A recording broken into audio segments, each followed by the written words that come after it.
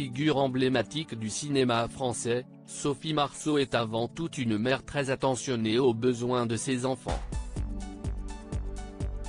Lors d'une interview accordée à Version Femina, en kiosque lundi 6 septembre 2021, l'actrice et réalisatrice de 54 ans s'est confiée sur les choix de carrière de ses enfants.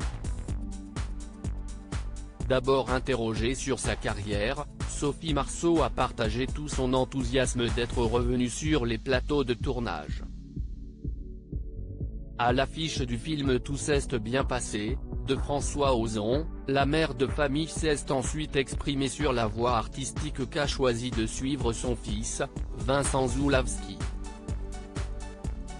Et à en croire ses propos, l'actrice reste indifférente au choix de son enfant, né de son union avec le réalisateur polonais Andrzej Zulawski, de se vouloir se faire un nom dans le 7e art. Elle soutiendra son fils de 26 ans peu importe sa perspective d'avenir. D'autant qu'aujourd'hui, on peut avoir plusieurs vies, plusieurs métiers, et j'ignore ce que l'avenir lui réserve, a-t-elle lâché, mon fils et ma fille feront ce qu'ils veulent, tant qu'ils le font. Et de poursuivre, sur les conseils qu'elle apporte à ses deux enfants, le génie ne fait pas tout. Je dis toujours à mes enfants d'essayer, que si est le plus important et que l'échec est surmontable. Un conseil très utile, à la fois encourageant et réaliste. Devenu acteur et écrivain, le jeune homme de 26 ans a décidé de suivre les pas de ses parents en embrassant une carrière au cinéma.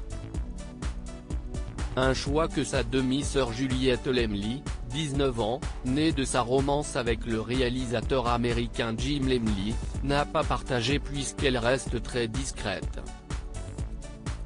Et au sujet de son rôle de mère, Sophie Marceau l'avait abordé dans les pages du magazine Elle en 2017. Si est tout le problème d'être parent, on a envie de les protéger tout en sachant que les douleurs et les doutes sont nécessaires pour grandir. L'important, si est qu'on soit là et qu'ils sachent qu'ils peuvent compter sur nous, avait-elle expliqué. Un soutien indéfectible qu'elle essaye à tout prix d'apporter à ses enfants.